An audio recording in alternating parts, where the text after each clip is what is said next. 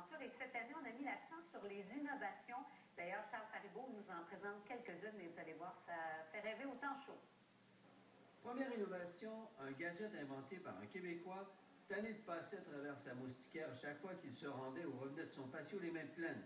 Un petit bidule de plastique collé à la porte patio et le tour est joué.